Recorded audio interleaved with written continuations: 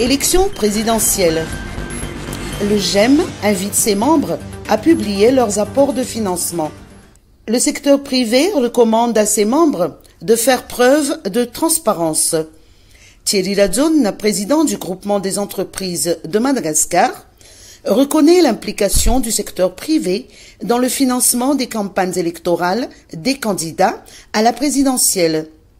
À l'Assemblée générale du groupement, mercredi dernier à Mbudvoun, il a déclaré que ce sont surtout les membres du GEM qui constituent les principaux financiers d'un ou des candidats à la présidentielle.